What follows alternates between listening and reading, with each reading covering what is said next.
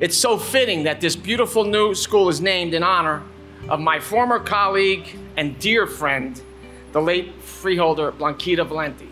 Freeholder Valenti believed deeply in the importance of education.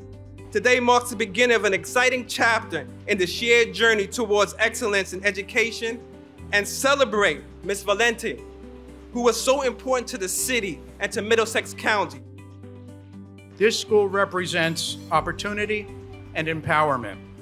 It's where young learners and those entrusted with their education will develop lifelong friendships through mentoring and learning. Blanquita's passion for education and public service provided the impetus to make a real and meaningful impact in our community. While Blanquita may not be physically with us today, her legacy will live in the hallways of the many steptoe children that will call this building their home. Because you see, it will no longer just be a school. It will hold space to facilitate brilliant ideas and knowledge to take form that will later be used to change the world.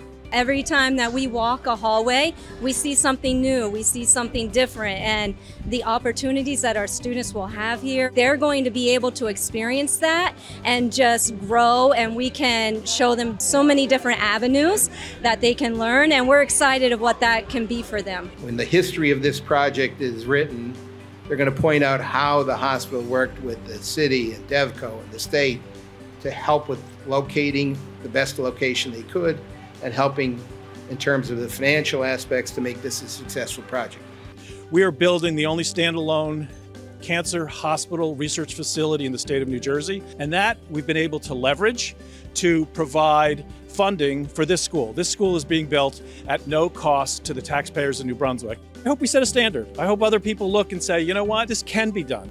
What makes the heart of the community are the families, and the schools are such an integral part of that to mold young minds and help everyone do what's best for the people most important in their lives, which are their children. It's a part of our mission to support endeavors like this because a healthy community is a healthy life for all those who reside in it. We are absolutely delighted to be a part of this project, and it is truly an honor for us to be here. Our kids are our future. Sometimes people think that hospitals are here just for patient care, but we go out into the community and we like to support services such as outside clinical services and even education.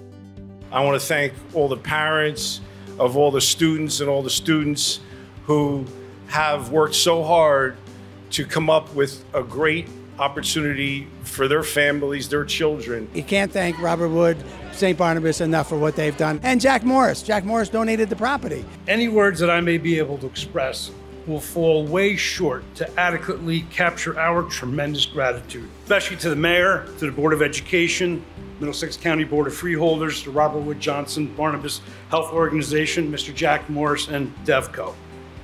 I know that in my heart of hearts, the mom is with us here today and she has a smile that is ear to ear. We are convinced that the knowledge of her story and commitment to service will inspire young students of all ethnic and cultural persuasions to excel and to improve their lives as well as the lives of the people around them. From all of the Valenti family and from the depths of our hearts, thank you, thank you.